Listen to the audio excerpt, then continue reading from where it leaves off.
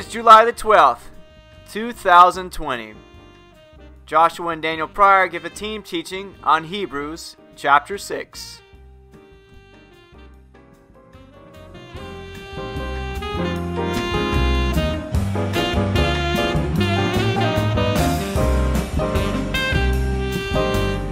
It's great to see all you smiling faces. Yes, a bunch of people are not here on this beautiful hot Sunday, but we are here. Again, those online, please tell us you're here on the chat box so we can acknowledge you at the end of the service and Yay. bless you. Amen. Yay. Let us know. Don't be shy. We're going to be in Hebrews chapter 6 tonight. So we took a week break last week when Josh spoke on weakness, and we're going to jump in. You know, any of y'all remember some points from Hebrews 1 through 5? Rest. Sonship.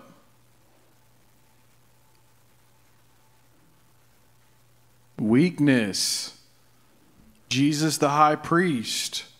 Train your senses. Get to know God in experience. These are the ideas from Hebrews 1 through 5. So we're going to do Hebrews chapter 6. And chapter 6 is a, Don said it can be a difficult chapter. But we're going to try to really give the big picture of chapter 6. We'll hit some things specifically in chapter 6, but we're not going to try to get into the minutia, the, the minute details of chapter 6, because we really feel like God's saying big picture, vision, purpose, boom, huge weight, not little, little, little bitty.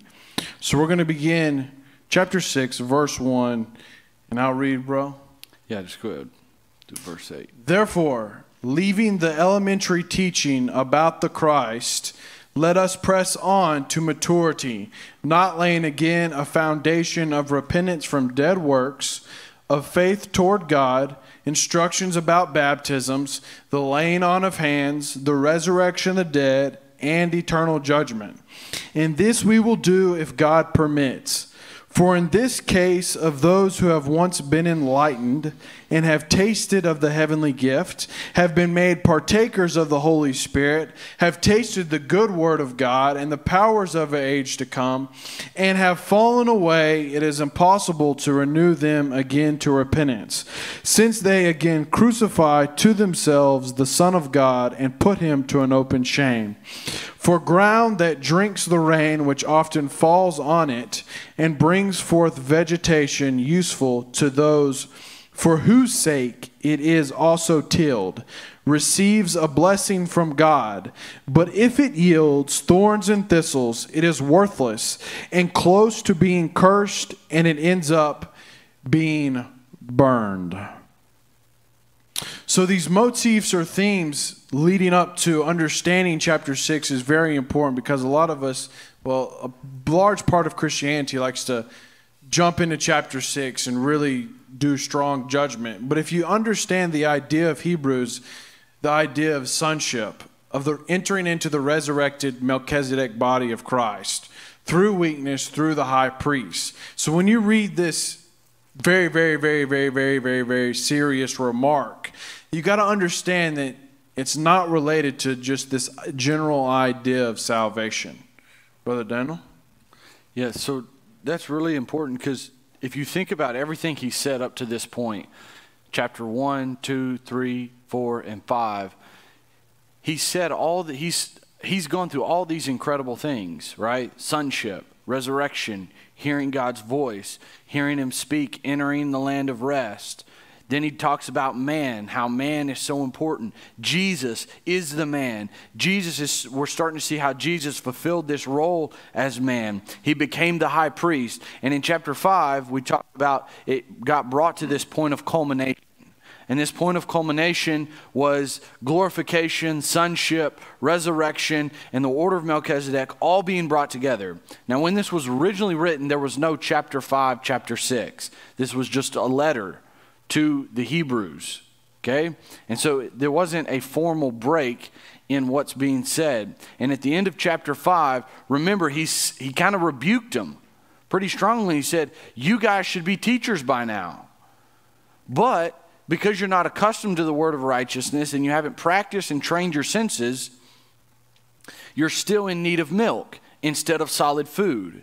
And he jumps into chapter 6 and he's going to hit again, right in the mouth, this idea of being in an infant place, in an elementary place, in a place where you really should have progressed from. And the reason he does it is because he is wanting and desiring to share incredible reality of Christ according to the order of Melchizedek. But there is a reality in life and how God has created us and how God operates is that you do not hand someone who is a baby, someone who has made a choice to stay in elementary school, a calculus problem. You do not hand them the keys to dangerous chemicals. You do not hand them the keys to more advanced levels of reality. And so when you come into chapter 6, he's still going to be hitting this point of the elementary things that Joshua is going to get into, but I want to make this point is it says leaving the elementary teaching about the Christ. This is one of the key indicators of someone who is mature. Their entire Christian life is about the Christ. Now, the Christ here doesn't mention Jesus, and that word there is Messiah. In these infantile, elementary believers are people who their entire focus is on this Messiah Christ figure who's going to come. And they live their life in this idea of everything is out there and it's going to come. It's all about Christ. But the whole message of Revela- of Hebrews and what he's been saying is no, Jesus came into humanity. Jesus became a part of mankind. He became one of the brethren. And so, immaturity is to look at Christ and to look at the things of God as just out there. Oh, it's going to happen. Oh, it's going to come one day. Oh, there's a Messiah out there where something is real. But maturity is to say, in today, in this moment, what is the tangible reality of Jesus Christ, the man and God in one in front of me right now? So these believers are continuing to get rebuked, even though it's not them. The writer of Hebrews is calling out these immature people, and he's saying, Look, why are you still needing the elementary teachings? about the Christ. As if Christ is not with you, as if Jesus is not with you as a believer. They still have this perspective of it's out there, it's going to come one day, it's going to be something that's going to happen, but it has nothing to do with the tangible reality of what am I being responsible for as a person in myself. And so it's always about the Christ. And you'll see people run around their whole life, their whole identity is always about something that God's going to do. It's always about something that God is said. It's always about something out there. It's never, this is God right here. God is with me right here. I don't have anything else for it, but God's with me right here. That's maturity. Is to walk in a consciousness of God is with me right here. It's not just a Messiah that's going to come to me and I can sit here in my pity.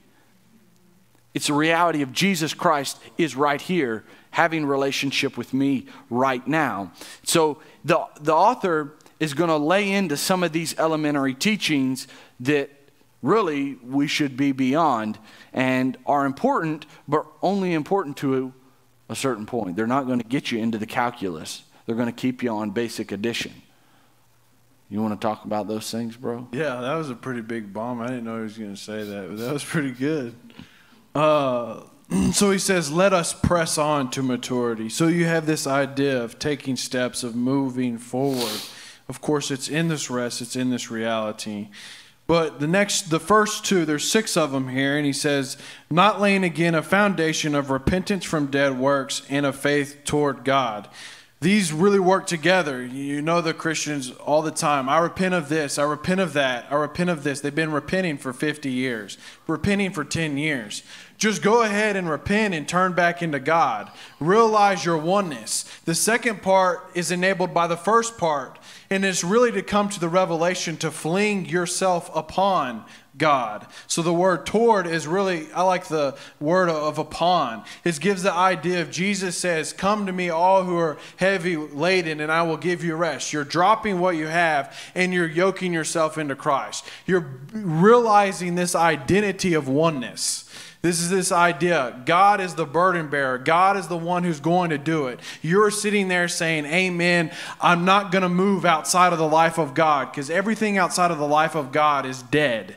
It doesn't have life. It doesn't have the life of a spirit. It doesn't have the life of the Father. It doesn't have the life of the Son. How many times this week you do something and it's not life because you think it's a good idea or because you're emotional or because it's logical? You're not relying on the life of God. And there's rest in the life of God because He's taking the burden on. It's Him doing it. Even today, I think it's freaking hilarious. It is so freaking hilarious, this message we're talking about in the refuge in chapter 6. And half of our people don't show up I've just got, caught myself laughing because it's forcing me to look inside of my own heart and saying, Joshua, are you looking at the people or are you looking at me? Again, that idea is there. It's piercing my heart. And God is just laughing because He's saying, Are you really upon me? Your whole entire being, is it resting upon me? Then the next ones are instruction about baptisms and the laying on of hands. Instructions about baptism is short. There are many baptisms, but there's separations and putting on. Whether you're baptized with water is a separation, whether you're putting on a baptism of the Holy Spirit. Simple, there's a lot more in detail, but that's not our point. The laying on of hands, community, resurrection life, also hands. Um, also tell of destiny, of life story. When Paul lays his hands on Timothy, he's giving a part of his destiny, he's unlocking it.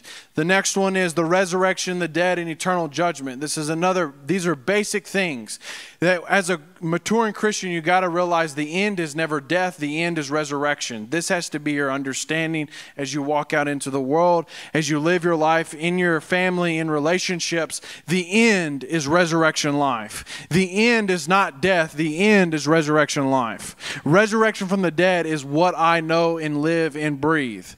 And then it ends with eternal judgment. Uh, basically, that Jesus says, if you believe in me, uh, you will not receive judgment, but if you don't believe, you have been judged already. And so, this idea of judgment is that in Christ, everything's been judged. It's already been done. His blood, his body has been spilt. That is the final straw. That is the final thing. It's do you want to step into him or do you want to keep doing whatever you want to do? This idea of eternal judgment. And you're no longer judging yourself according to the world standards, according to the fleshly standards according to any lesser standard, you're allowing God, who is eternity himself, to judge you. These are these basic ideas. I don't want to get into them too much because it's too much, but they're just laid out there basic. Verse 3 And this we will do if God permits. God is wanting to be grown up about this. And he's going to say, You're going to have to grow up for you to come past these basic things. If you don't realize that I ended up in resurrection life, if you don't realize what I'm saying is true, that I am enough, that my body and blood's enough, if you don't realize that I can bring you through to the other side, I can bring you into the promise, if you don't realize that you can't do it, if we don't realize the idea of community, if we don't realize these ideas of separating from the things of the world and putting on the things of God and these things, God is not going to allow you to be mature, to start growing up into maturity. Because if you do and you fall away, then you're going to be burned. This isn't the idea of you're going to hell for eternity. This is the idea is a basic forestry, basic field understanding. When the field grows over, when the forest, it's good for it to be burned down because it's not producing. It can't have the flow of oxygen and nutrients and everything it needs. This is the same thing is true. When you start growing up as a fig tree, but you're bearing forth thorns and thistles, God, because He loves you, is going to discipline you. He's going to say, fire upon your life. Because He wants you to actually come to something that can produce something that is good and godly according to his image instead of something that is thorns and thistles. Yes, you partaken of these powers of the age to come. Yes, you're doing this. Yes, you're doing that. But he's very serious because he wants you to bring forth a blessing rather than a cursing. And if you're bringing forth thorns and thistles, everything apart from God, even if it looks good, God says, No, I'm going to burn up that wood hand stubble. I'm going to burn up the structure that you've built your life in so you can really bring something forth. And we're not going to delve into this idea uh, any more than that, I don't think, unless Daniel wants to pop in and say something right there. But I just wanted to say that metaphorically, you are this tree, you are this fruit plant, and God is calling you to mature. And if you're bearing forth whatever, He's going to say, He says, it yields thorns and thistles, it is worthless and close to being cursed. Doesn't mean it is going to be cursed, but it's close and it ends up being burned because God is going to burn your stuff down so you don't fall into being cursed. God doesn't want you to be cursed as his child, and so he has to burn it down. He has to burn you down, this idea, these structures down, to actually bring forth what he desires. I know it's very serious, but it's very true because God wants you to step into really knowing God, really knowing your true self, to focus on the Father rather than the focus on this false self, your hubris, your pride, your arrogance. He wants you to be manifestationally one with Him. And if you can't do that, then He says, Hey, I gotta, I gotta start again. Fire. Start again. You need some more nutrients. You need some more whatever in your life. And the reality is, when we talk about a field being burned, a field is not destroyed when it's burned, it's replenished. So, once again, he's talking about maturity, he's talking about growing up, and we have this interlude for the babies, right? Where he's saying, Look, you're still on milk, you still want elementary teachings. Yeah, even though you've tasted this, this, and this, he's not pointing to this reality of losing your salvation. When he says it's going to be burned, every man's work is going to be tested by fire. It's a reality. It's a reality we're going to face. It's a reality that you step into when you step into maturity. Even if you're a child and you have a child, guess what? You find out real quick that there's a level of maturity that you're now going to have to walk in, and everything you say or do is going to get tested because that little kid's probably going to turn around and say the same things you're saying, right? I got upset with my mom one time because I said something she said, and she was like, No, you don't say that. You know? But that's the reality is that when things start to grow in your life, those things are going to bring about a testing. There's going to be a fire there. And if stuff gets burned down and destroyed, it doesn't mean the field is gone. The field represents your soil. It doesn't mean your soil is destroyed. What it means is that everything that was built upon that field or came out of that has been destroyed, and you can start over with freshness and newness. But you have to remember this is a little interlude to the babies. This is a little interlude to the people that he's kind of perturbed with and saying, Look, I wanted to talk about great things, but now I'm having to jump in here and talk about milk and elementary things. And he says, The only way to go on is if God permits. When you think about in Hebrews, what has the author of Hebrews told us to do as believers? Has he ever told us to keep the law? No. Has he ever told us to be our own righteousness? No. Has he ever told us to go out and do this work and that work and this work and that work? No. The things he has said to us is pay attention, believe, and practice your senses. Those are, the, those are essentially the three things that the author has given to us to be doing. And in the process of doing those things, we step into maturity. Because when you're paying attention, you see more, you're aware of more, you start to understand and ask questions, right? When you're paying attention, you're hearing God's voice, then He calls you to believe. When you believe, you enter into that rest, you enter into the place where God's word is working in your life, but you're resting.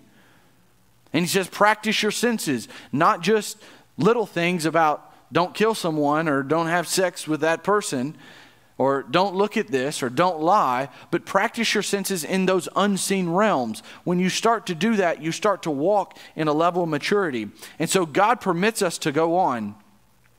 But one thing I want to point out is it says all of these people have tasted of the good God, right? And the powers of the age to come and the heavenly gift. They've been marked made partakers of the Holy Spirit and have fallen away, it is impossible to renew them again to repentance, since they again crucify to themselves the Son of God and put him to open shame. Another point about an immature person is that they hang the Son of God on themselves.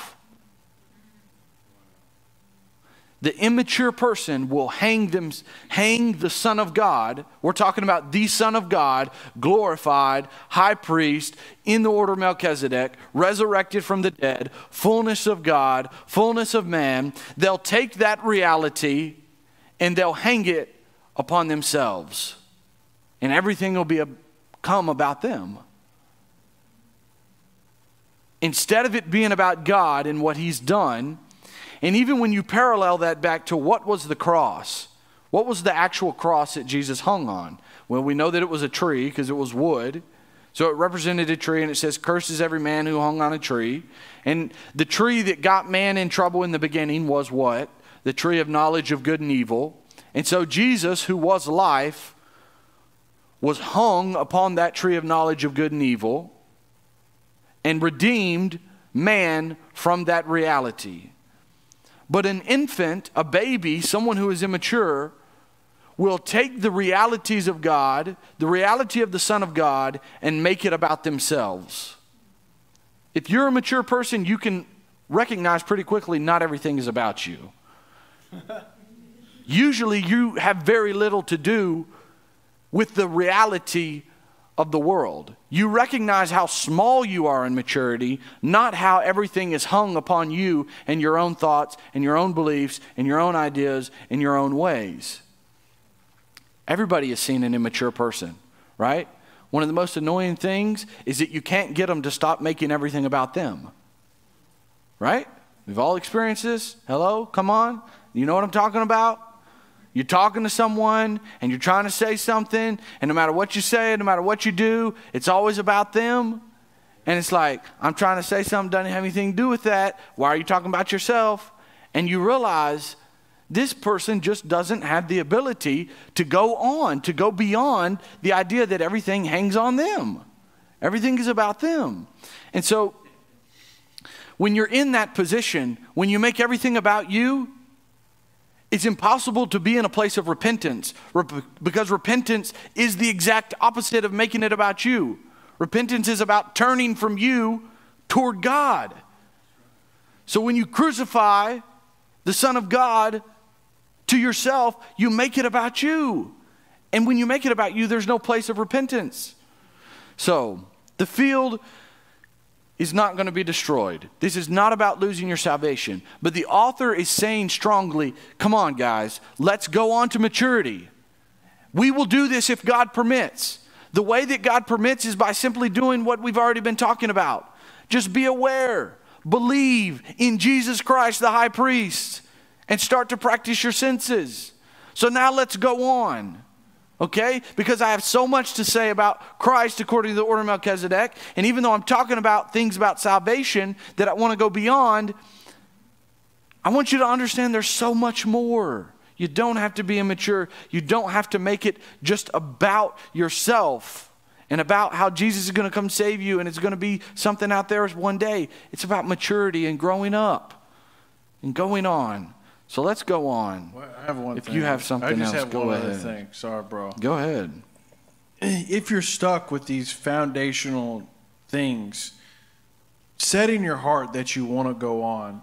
But as you begin to practice your senses, you go back to these foundations and say, It is not of myself, it is of you. I'm separated from the world, I'm separated from friends, family, everything. I'm separated and I'm joined to you. I'm joined with this body. The end is resurrection life. You use these six things as your plumb lines, your directives as you engage spiritual matters. As you engage, okay? So that's just real quick, but we'll go on. Verse 9. Bro, you want to read or you want me to Sure, read? I can read. Okay. But, beloved, here's another term that he calls you, just to make a little note there. He called you holy brethren, now he's calling you beloved. But, beloved, we are convinced of better things concerning you and things that accompany salvation, though we are speaking in this way. For God is not unjust so as to forget your work and the love which you have shown toward his name, in having ministered and in still ministering to the saints. And we desire that each one of you show the same diligence, so as to realize the full assurance of hope until the end, so that you will not be sluggish, but imitators of those who through faith and patience inherit the promises. For when God made the promise to Abraham, since he could swear by no one greater, he swore by himself, saying, I will surely bless you, I will surely multiply you. And so, having patiently waited, he obtained the promise. For men swear by one for men swear by one greater than themselves, and with them an oath is given, as confirmation is an end of every dispute. In the same way, God, desiring even more to show to the heirs of the promise of the unchangeableness of his purpose, interposed with an oath, so that by two unchangeable things in which it is impossible for God to lie, we who have taken refuge would have strong encouragement to take hold of the hope set before us. This hope we have as an anchor of the soul a hope both sure and steadfast, one which enters within the veil, where Jesus has entered as a forerunner for us, having become a high priest forever according to the order of Melchizedek. See why this is such a hard chapter? That's a lot, right? That's a lot. That's a lot of stuff that we're not even going to get into, that there's just so much there. But stay in the big picture, and we're going to tap some things out here, okay? Stay in the big picture focus. We're going on to maturity. We're not going to be immature. We're not going to be little babies because God's going to permit us to go on, right? So we're going on, and we're the beloved. And there's better things. I'll make this point in the hand to you, bro. There's better things concerning you and things that accompany salvation, though we are speaking in this way. God has so many better things for you, you have no idea. You have no idea the better things God has for you. Think about the Jewish people. The Jewish people had a system that was complete in totality by which they could be righteous. They had a complete system by which they could be righteous, they could be cleansed, and they could have relationship with God. That's incredible. Nowhere else on the earth, nowhere else throughout all of human history has there ever been a system like the Jewish reality and the system that they had. But the author here is going to say, look, even though you are Jews, even though you are Hebrews, there is better things. Even though God gave you the best that was amongst mankind when He gave you a shadow when He gave you a shadow of things, there's better. There's better. There's better. There's better things. So, as we go forward in the book of Hebrews, we're going to be waiting and anticipating and stepping into maturity as we recognize there's better things than what's in our midst right now. Yeah, you have a good system. Okay? You've survived for 40 years. But guess what? There's a lot better than what you've been doing. There's a lot more that God has for you. You receive that? You believe that? You've made it 20 years, you've made it 30 years or 50 years, but God says, hey, how about eternity? Step up your game, son. Step up your game. There's some better things. Go ahead. Oh, man, that was good, too.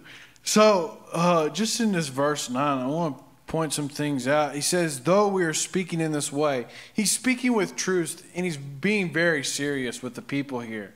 But he begins with, but beloved. You know, it's interesting. I don't remember ever him calling them beloved up to this point or saying, I love you. But this is the reality of it that if you've been walking and experiencing this, you're going to know how much God loves for you. And he's reminding you of that, that God's basic idea of why he's doing all this is his great love. And this is why he wants you to go on to better things that accompany your salvation. I even think this is why God is shaking up this, this world, is because He's saying, guys, there's so much better things that accompany your salvation. Why aren't you paying attention? Why aren't you maturing? Beloved, do you not know that you are more loved than the person who just struggles outside of me? I mean, I love the sparrow, but do you think you're more loved than the sparrow? This is this idea he's trying to beat into our hearts. He's trying to just pour and pour and pour and pour back into us. Do you not think of that value that's there?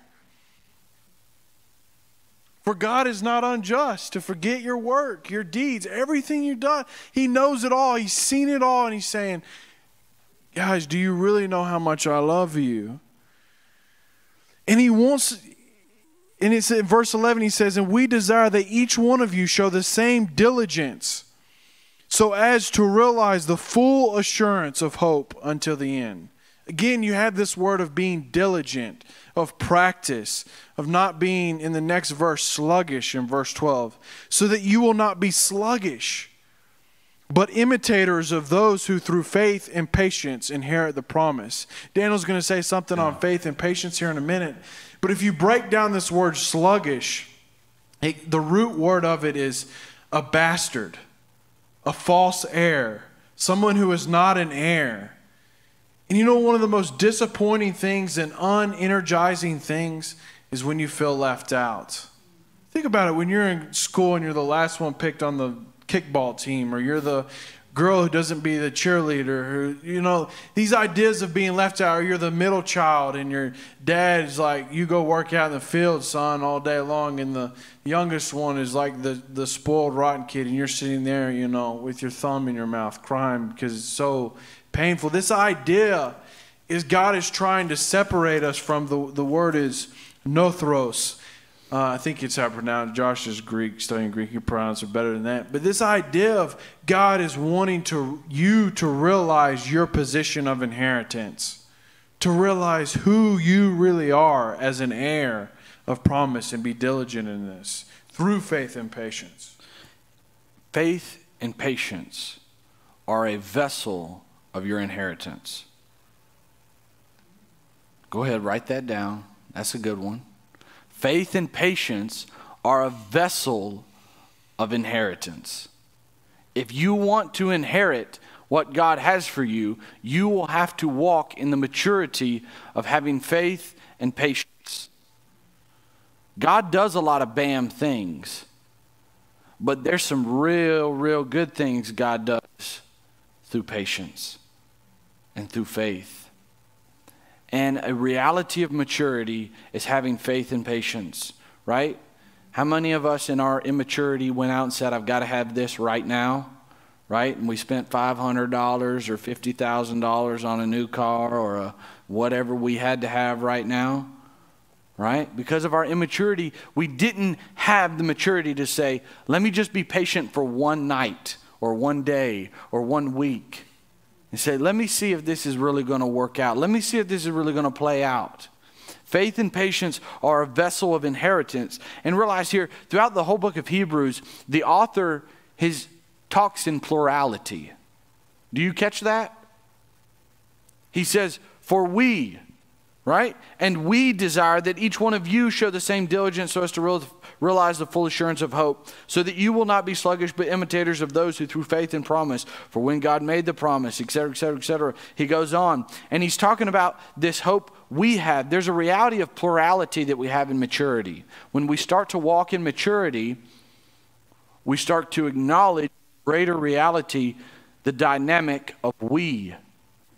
Once again, because it's not all about us right? You recognize that your, con- your actions have consequences that don't just involve you, they have ramifications that don't just involve you. And so he says, We desire that you show diligence to realize the full assurance of hope until the end. 1 Timothy chapter 1 verse 1 tells us that Christ Jesus is our hope. Once again, he's pointing to this reality of maturity and full assurance. He doesn't just want you to have half assurance or a part of assurance. He wants you to have a full assurance of Christ Jesus, who is your hope. And he says, show diligence, show the same diligence. It's just about being diligent. He doesn't say you have to figure it out, he just says, be diligent in paying attention, be diligent in practice, be diligent in believing.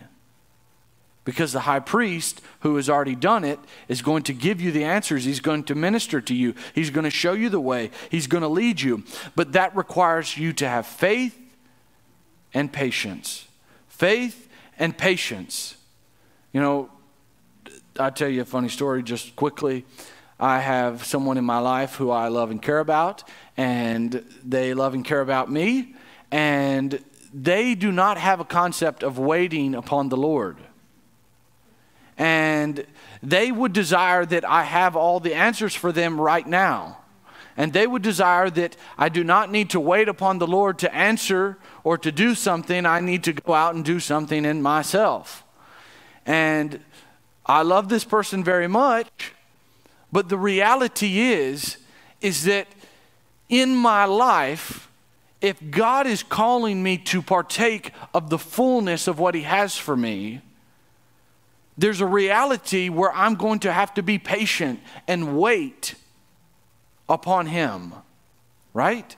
I don't think there's any example in Scripture, even Jesus Christ himself, who could be the best example, he didn't have an instantaneous reality of everything. He waited. He learned obedience. He suffered through things. He learned to be patient. And he had faith. Faith and patience are a vessel of our inheritance. Don't become discouraged because you're having to wait, because you're having to be patient for something. Recognize this is a part of your maturity because God's going to give you an inheritance in that maturity. Amen? I know it's hard to wait at times, but just be patient. Try to be patient. Train yourself in being patient. Even if you do something small and picking up your phone first thing in the mo- morning, tell yourself, I'm going to wait five minutes to even look at that. I'm going to wait five minutes. I'm going to be patient. The world's calling, Facebook is texting me, Twitter is tweeting me, Instagram is snapping me. Whatever you do, just tell yourself and start training, practicing in little things. I'm going to wait five minutes. I'm going to be patient before I respond. I'm going to be patient before I do something. Faith and patience is a vessel of inheritance. Do you want to say something? Yeah, I did. Uh, one thing about patience, this is an active patience. This isn't a passive patience. And what I mean by that is it's not like, hey, I'm waiting for my drug guy to get here. Let me sit here and watch TV.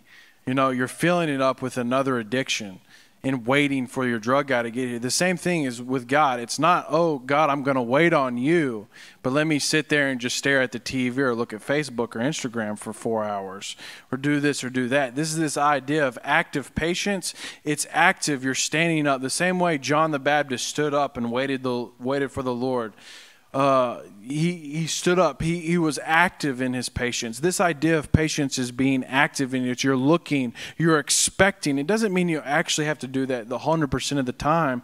But if you're aware, you stand up periodically throughout your day and you metaphorically, well, really with your heart's eyes, you gaze into God, into who He is. God, I don't know what to expect, but you are my expectation. And what he'll begin to do is he'll start giving you promises. Now, he gave this promise to can Abraham. I, can I say something yeah, before you do ahead. that? A great example of patience in Abraham is the reality of Abraham was being patient when he was carrying and walking with Isaac up the mountain to make a sacrifice. God had called him to lay down his kid, right? He was walking up the mountain. He was going to make this sacrifice, but he was being patient for the Lord to provide the sacrifice, even though God had told him to sacrifice your child. He was being patient for the fullness of what God was going to do to come about, but he was still walking in obedience and what he had heard God say to do. He was walking in patience when he left the Ur of the Chaldees, not knowing where he was going. He was still going towards something based on faith. Faith is what he had heard God say, but he was being patient for the reality of the fullness to be made manifest. And so that's a great point on that active faith, active patience. It's not you sit there and say, God, I'm going to stay in the Ur of the Chaldees until you get me out of here. It's, okay, I'm going to get up and start leaving the Ur of the Chaldees and be patient for you to show me where the promised land is that which you're going to bring me into. So God gives Abraham this promise I will surely bless you and I will surely multiply you. And he does this by himself. And it says, uh, and verse 15, and so, having patiently waited, he obtained the promise. Abraham may get into that, maybe not. Verse 16 For men swear by one greater than themselves with them, an oath is given as a confirmation, is the end of every dispute. In the same way, God, desiring even more to show to the heirs, see, the heirs of promise, the heirs of promise, see, being sluggish, the false heir, the bastard, to now being heirs to the promise, the unchangeableness of his purpose, interposed with the oath, so that two unchangeable things in which it is impossible for God to lie, we who have taken refuge would have strong encouragement to take hold of the hope that is set before us. So, what is this doing? What is this giving us? This refuge, what is a refuge? A place of security, a place of sustainment, a place of, of provision that God has provided. And so, when God speaks to Abraham, hey, blessing I will multiply you, bless, you know, that whatever his promise was, whatever he just said. I will surely bless you and I will surely multiply you. This promise of Isaac, of the seed, which again is Christ, but we'll just say Isaac for right now. When God spoke this to him, he swore by himself, and Daniel's going to get into that. Well, you can just say it real quick, bro. Swearing by himself, there's no one greater than God. And when he swore by himself, he swore by his own nature by his own identity, by who he was, and he gave his word. That's enough for God. But God even went beyond because of the reality of man, and he did something that man does. And what God did was he interposed it with an oath. And that oath is the Spirit, right? Jesus is the Word, is he not? Jesus is enough to solve the problem. But God, in His goodness and in His greatness and in His wisdom, He says, Not only am I going to solve the problem, but I'm going to interpose it with an oath that will prove and bring about a surety in you of the reality of the fullness of the word that I've given to you. So that's what he does. He gives the word and he gives the spirit. Those are those two unchangeable things by which God, when he swore by himself, he was enacting and making it based upon because those are unchangeable. Is that what you want me yeah, to say? Great. Something like that. Amen. All right, so that was great. So, what this does, if this provides a cocoon, a place of refuge to be changed, uh, to be sustained. And so, when God speaks, uh, we can use this idea of Melchizedek Christian Church. Melchizedek Christian Church will be a place where believers will grow up and be kings and priests. This idea will grow into maturity. This is one of the promises corporately He's given us. He's giving us individual promises, but this corporate promise is here for us that we've been patiently waiting. So, in this idea, we step into this cocoon to metamorphosize. You remember the butterfly, right? From class and I mean? It metamorphoses it changes into an image. And the image it's going to change into is the perfect image of God because that's its destiny its calling. And so what it does is it's a structure where God has created this place of refuge around you. So you have his word and his spirit creating a place of refuge where in that place your idea is to grab hold of the hope that is there so it's a cocoon that you can grab hold of the hope, which Jesus is, the hope, Jesus Christ, according to the order of Melchizedek, to see, to comprehend, to grasp. And we'll get into this later.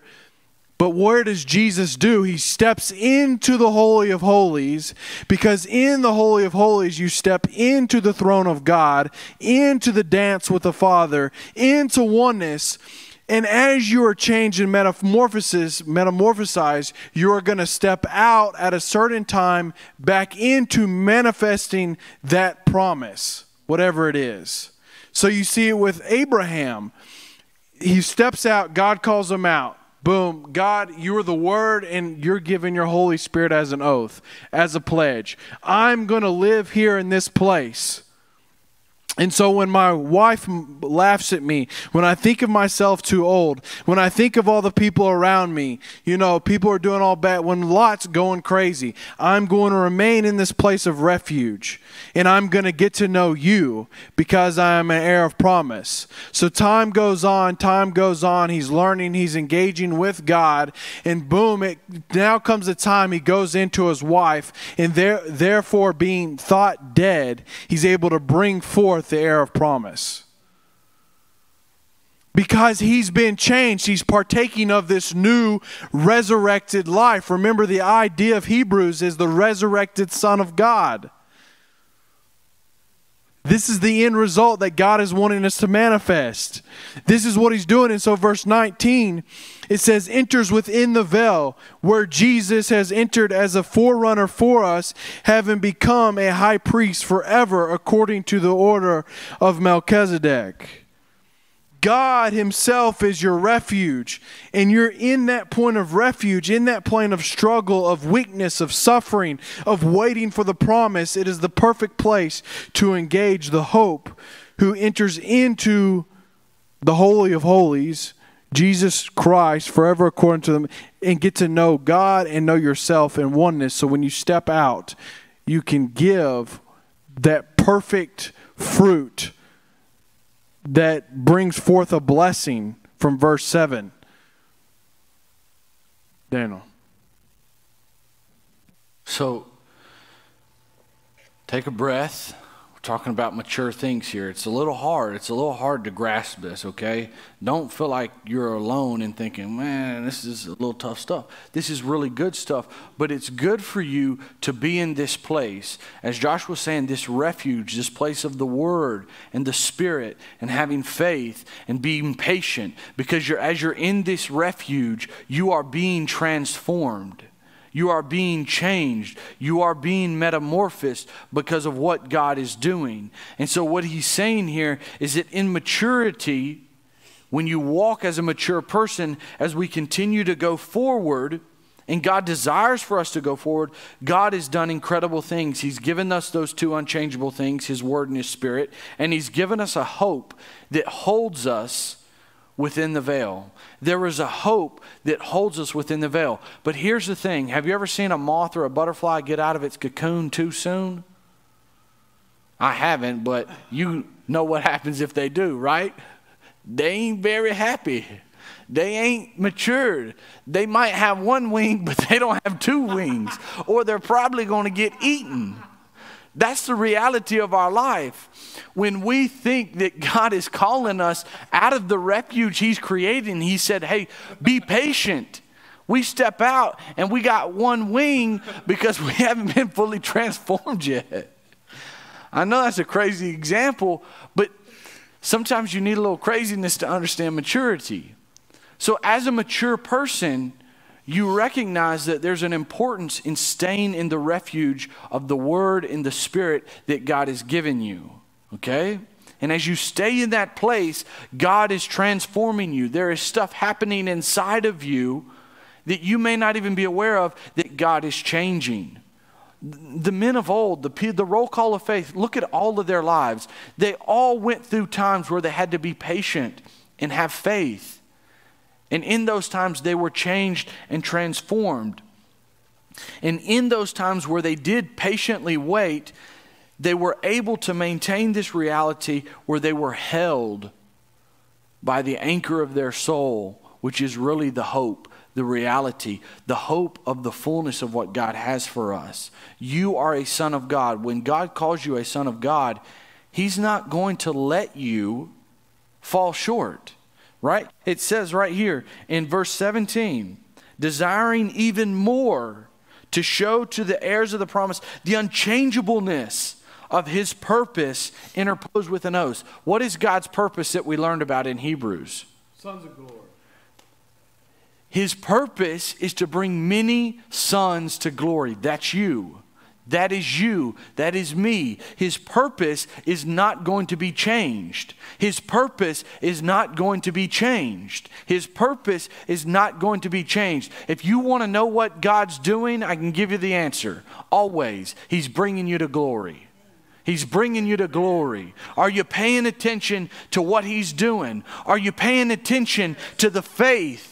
And to the patience that you're supposed to be resting in? Are you believing that while you're in this refuge and you may feel like a refugee, that God is doing something beyond what you can see? He's doing something in unseen realms. And when He brings you into the fulfillment of the promise, you're going to be a new creation. You're going to be a full person. You're going to have wholeness. You're going to have purpose in its fullness. You're not going to be one legged. You're not going to be one armed. You're not just going to be a half or a part. You're going to be whole and you're going to be full and you're going to be one with God. The reality of Hebrews is oneness, is oneness, is oneness with Jesus Christ who is gone before us. He is the forerunner. It just be one with Jesus. You don't have to understand everything about him. Just be one with him. Go hang around him. Spend time time with him,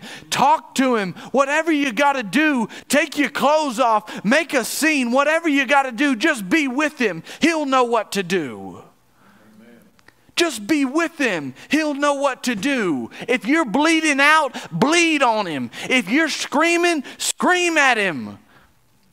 He'll know how to handle you because he's perfect and he's the high priest and he is a man.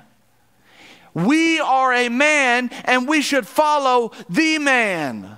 Jesus is the man. And where Jesus is gone, we will go because he will bring us there.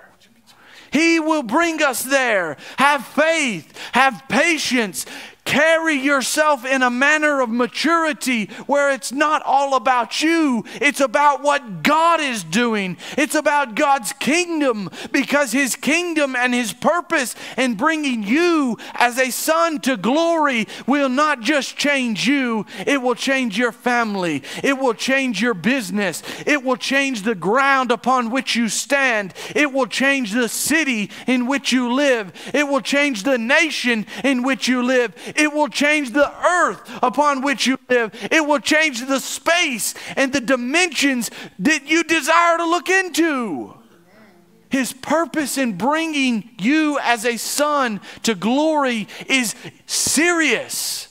It's about fullness. It's about maturity. Don't get bogged down in everything has to hang on me. Don't get bogged down in it's all about me and my little situation here. Have faith, have patience, realize that God's at work.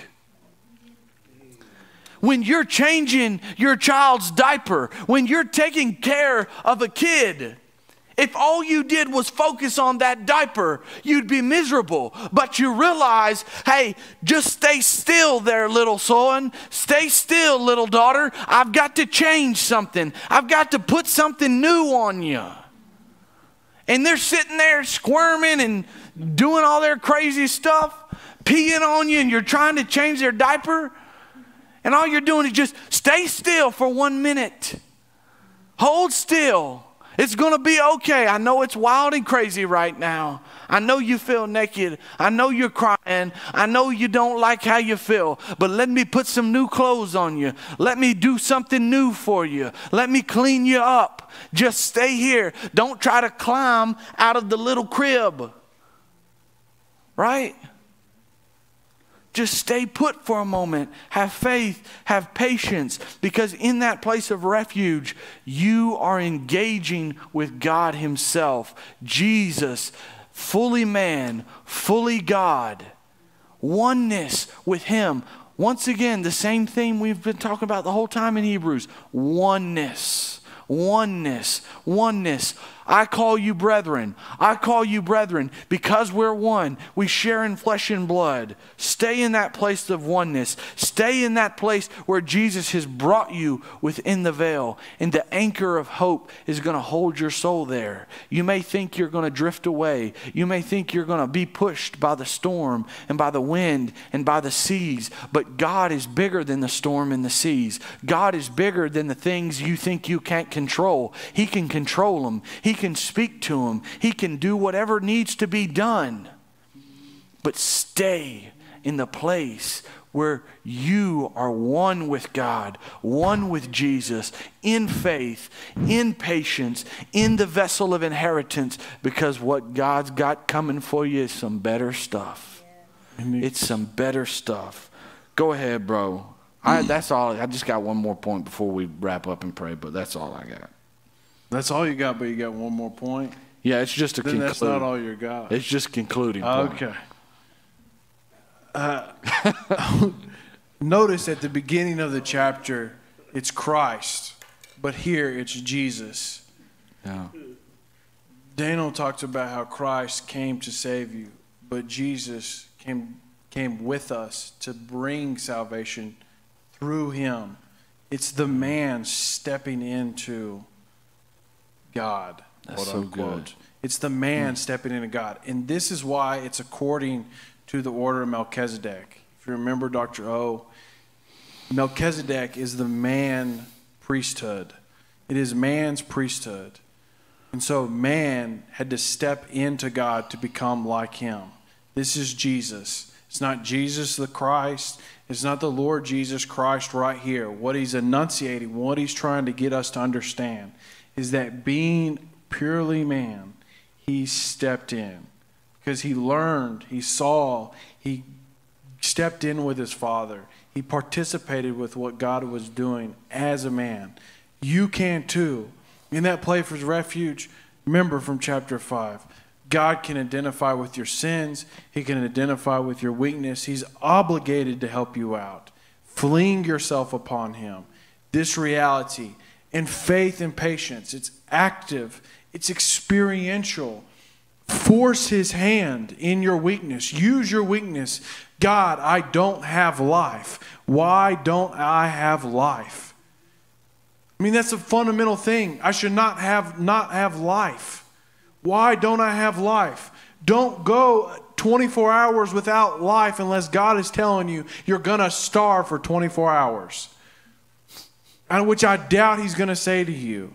For real, be weak. Call somebody. Call God first and then call somebody. Don't go without life. Foundational principle. Don't sit there and strain. Just, God, where are you? Step in. Allow God to bring this order of Melchizedek from within and manifest it without. On the without, on outside. I said that right, right? Yeah. Amen. The last point Go ahead. is it's about the big picture.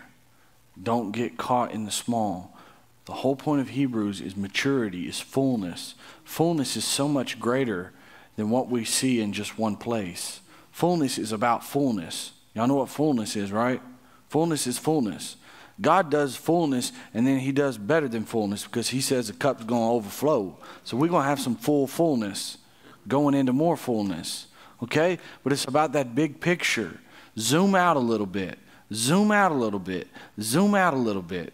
God's doing a lot of stuff in our lives. God is doing incredible things in our midst. Every single one of you are an incredible person. Every single one of you have a purpose that is beyond what you can see right now at the moment. God intends to bring you as a son to glory. Amen. So, Pray. I want to. We're gonna pray. We're gonna pray for you, but I want to just run through this idea of how it works practically. How this idea of of the refuge and how you step in this reality of the high priest. Okay, so we've been Melchizedek Christian Church for ten years, right? Eight years. Okay, but I've been a part of the church for ten years. Okay, we've never grown more than about twenty people tops, and I have flesh. I have flesh because sometimes I get pissed off because I'm sitting there, God, it's been 10 years. It's been 10 years I've been doing this. I've been ministering to people. They come and go. I don't really care. Blah, blah, blah. You know, I can get all the fleshy stuff out there. Regardless, God's try, trying me, testing me. Is it about me? So today I'm sitting here in worship, and this idea is coming back up within myself, within my heart. God, what is going on? There's no life. Well, there was life. There was life. There was life. But within myself, there was no life. I, it was just like, it was dry, it was hard. It was like, God, where's life? He said, he just reminded me, what are you teaching on? Enter into the refuge. So what I did is I just spoke to myself, just quietly, God, I believe in this word that we will be a group of believers who will be kings and priests on the earth. This is my reality. And I just positioned my heart in this promise. And you can do it with your individual promises, you can do it with your corporate promises. But position yourself within that promise. And God, focus Him on the high priest. So I just focused on Jesus. Jesus, high priest according to the order of Melchizedek, in this place of refuge to pull me in, to start bringing me into the Holy of Holies, where the throne is, where there's no sadness, where there's no tear, where there's no whatever. And you, it's not you're just standing there hard, but you're finding strength in your weakness. So that's what I want us want you to do and practice this week as as I pray for you. And I think Brother Daniel's going to pray for you. If you want, as I pray, you can practice that because I know a lot of y'all are going through a lot of crap in your lives, both family, work, self I mean, we're going through a lot of stuff. I mean, the whole world's going through a lot of stuff, or at least Tennessee is, Nashville is, a bunch of crazy stuff. Both sides, division, everything's going just absolutely bonkers. And God is saying, find myself in this place of refuge. Find my word, dwell on it, chew on it, enter into this place. So let me pray for you. If you already have something, amen. If you don't, then you can just enter into this general idea God, my promise is to be a son to glory, to be a king and a priest in the earth. That's what we quote every communion. King and priest in the earth, not just when I die and go to heaven, but I mean right now. I want to be a king and priest. This is the promise. This is what you're doing, God. All right. Father God, we thank you. We give you praise and glory. We give thank you for your hosts that help. We give thank you for the just men that are made perfect. Uh, with us, Lord God. We give you praise and glory for Father, Son, Holy Spirit. But we just humble ourselves and we ask that you teach us faith and patience. And those who have been in this place of faith and patience, really let us understand this place of refuge, that it's not a place of scarcity, but really it's a place of abundance. It's a place of overflowing because there you're able to bring us into the Holy of Holies, Lord God. So we just position our hearts in this place of promise, of your word, of who you are, in Jesus. In Jesus. And I know you interpose that. You, you, you lay over us. You imbue us. You cover us. You baptize us with the Holy Spirit. This oath, this pledge that you will bring it. And we recognize it. And we recognize Jesus, high priest according to the order of Melchizedek. And we believe that we can step in and then eventually come out and shine as the stars of heaven. Jesus' name. Lord, I just agree. And we thank you, Lord, that it, it doesn't all have to be about us. We thank you that you desire to bring us to the fullness of being sons and being glorified by you, Lord God bringing many sons to glory. We thank you for that purpose, that you are bringing it about. Lord God, we just repent of any place where we have been immature. We just acknowledge it. We don't beat ourselves up. But we just ask, Lord God, that you would help us to go on, that you would permit us to go on as we focus on you, as we continue to be aware and believe and to practice our senses in those unseen realms. Lord God, we thank you that there are incredible things you've called us to. There is so much better that you have called us to. We desire to partake of the better, to know the better, and to know of the fullness of the reality of our hope, the fullness of the reality of Jesus Christ in the order of Melchizedek. We engage, we step in by faith, by faith, by faith, and by patience and patience and patience. We thank you that we will and we are receiving an inheritance from God, Most High, Creator of heaven and earth. And He will deliver our enemies into our hand. We thank you in Jesus' name. Amen. Amen. If you have any uh, questions, feel free to always ask us. If you get stuck in the middle of the week, call us. Yes, go ahead. Amen.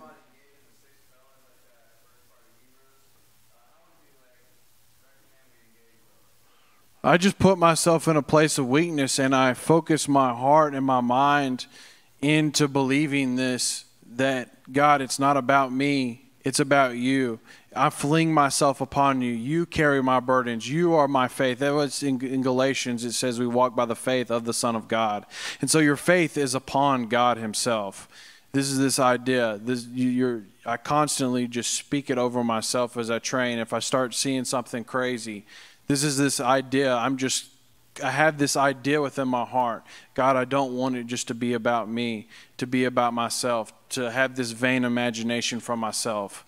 I want it to be about you. I make it about you for your glory, for your will. I recognize that my sins have been forgiven because when you start getting to that unseen place and unfortunately, America doesn't deal with their subconscious that well, those unseen places within themselves.